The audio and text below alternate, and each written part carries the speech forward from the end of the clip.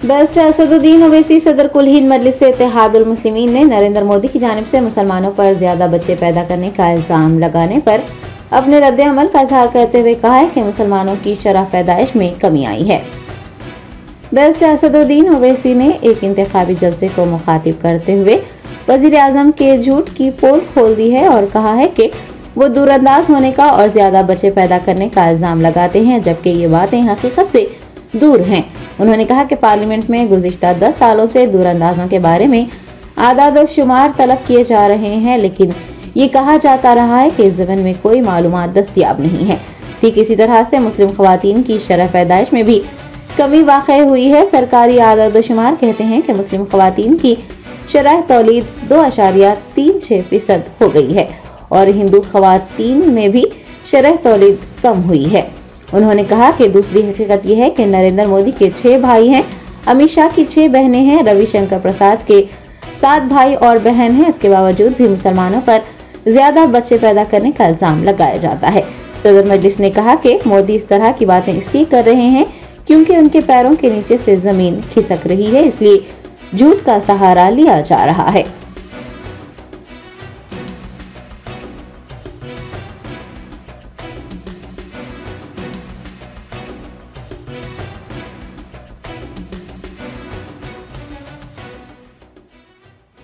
नरेंद्र मोदी, आप प्रधानमंत्री हैं। इस देश के प्रधानमंत्री आपको सेफ़ नहीं देता कि आप भारत की इतनी बड़ी आबादी के ताल्लुक से इस तरह की बकवास करें।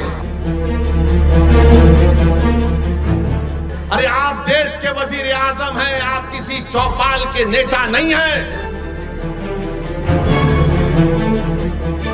और बोलते हैं कि हम बच्चे ज़्यादा पैदा करते हैं। नरेंद्र मोदी के आपके छह भाई नहीं हैं। अमित शाह की छह बहनें नहीं हैं। अफसोस होता है नरेंद्र मोदी के तुम भारत के वज़ीर आज़म हो। पहले जब उनकी सरकार थी, उन्होंने कहा था कि देश की संपत्ति पर पहला अधिकार मुसलमानों का है। इसका मतलब ये संपत्ति इकट्ठी करके किसको बांटेंगे? जिनके ज़्यादा बच्चे हैं, उनको बांटेंगे।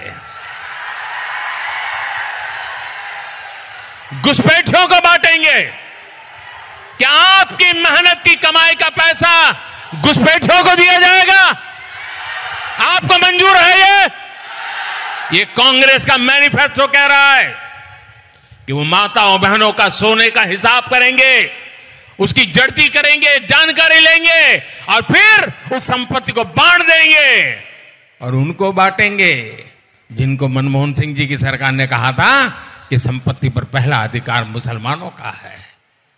भाइयों बहनों, ये अरबन नक्सल की सोच, मेरी माताओं बहनों, ये आपका मंगल सूत्र भी बचने नहीं देंगे। यहाँ तक जाएँगे, मैं कहने आया हूँ। ये पुकारती है कोई पूछने वाला नहीं है। भारत के वज़ीर आज़म 133 करोड़ जनता के वज़ीर आज़म जो कहते हैं झूठ, कहते हैं सबका साथ, सबका विकास। मगर कल का भाषण नरेंद्र मोदी का ऐसा नज़र आ रहा था कि हिटलर बोल रहा है, भारत का वज़ीर आज़म नहीं बोल रहा है। और आपको याद दिला रहा हूँ, मैंने पार्लियामेंट में फरवरी में जो पार्लियामेंट का सेशन हुआ था, मेरी तकरीर को उठाकर देख लो। मैंने अपनी तकरीर में कहा था कि आज भारत का मुसलमान 1930 के यहूदियों की तरह जर्मनी में जो यहूदी थे, अपने आप को समझता। है और यहूदियों में जब हिटलर ने यहूदियों को गैस के चेंबर में डालकर मार दिया, ऐसे ही नहीं डाला। पहले हिटलर ने तकरीर करना शुरू कर दिए यहूदियों के खिलाफ। यही तरह इस तरह तकरीर कर रहे नरेंद्र मोदी। नरेंद्र मोदी, आप प्रधानमंत्री हैं। इस देश के प्रधानमंत्री आपको जेब नहीं देता कि आप भारत की इतनी बड़ी आबादी के ताल्लुक से इस तरह की बकवास करें। किसकी दौलत लूटी हमारे, बताओ? मेरे भाई, हकीकत बता रहा हूँ तुमको, भारत के मुसलमानों की सुनो। जिसको अंग्रेज़ी में एक लफ्ज है इंटर जेनरेशनल मोबिलिटी कहते हैं। अगर मेरा दादा सौ रुपये कमा रहा था तो उसका पोता 110 रुपये कमाना चाहिए।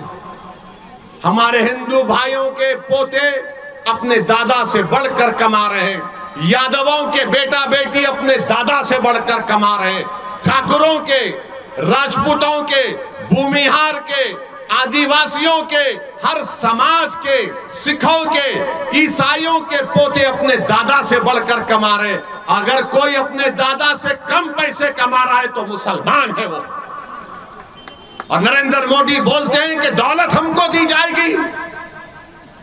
कितना झूठ कह रहा है, भारत का प्रधानमंत्री रहकर इस तरह की बात वज़ीर आज़म करते हैं। अरे आप देश के वज़ीर आज़म हैं, आप किसी चौपाल के नेता नहीं हैं। आप सबके वज़ीर आज़म की बात करना चाहिए था। और बोलते हैं कि हम बच्चे ज़्यादा पैदा करते हैं। नरेंद्र मोदी के आपके छह भाई नहीं हैं। अमित शाह की छह बहनें नहीं हैं। क्या रविशंकर प्रसाद की सात भाई बहन नहीं है? मगर दिखता कौन? मुसलमान ज़्यादा बच्चे पैदा कर रहे अरे झूठ बोल रहे हो तुम। तुम्हारी गवर्नमेंट का आधा दो शुमार डेटा कह रहा है कि मुस्लिम हमारी बेटियों का जो फर्टिलिटी रेट है, उसमें कमी आई है। मगर ये पुरानी आदत, ये बच्चे पैदा कर रहे हैं।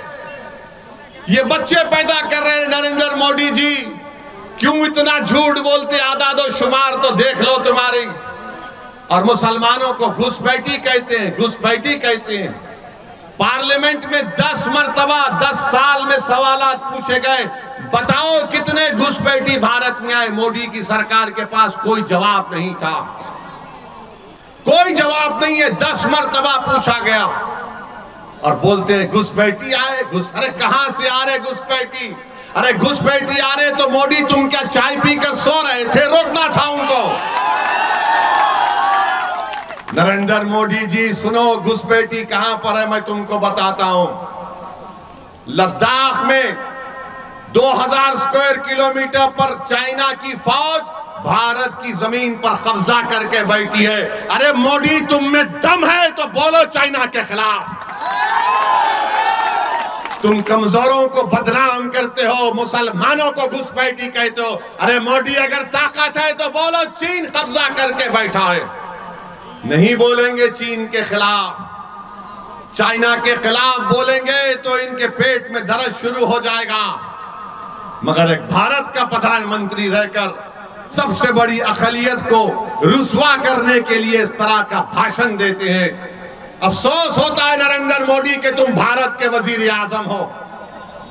किस तरह की वाहियात बात आपने की? अरे तुम्हारा झगड़ा किसी पार्टी से झगड़ा करो। मुखालिफत करो, मगर तुम भारत के वज़ीर आज़म हो जिसमें सत्रह करोड़ मुसलमान हैं। इस तरह हमको जलील और रुसवा करेंगे कि बच्चे पैदा करते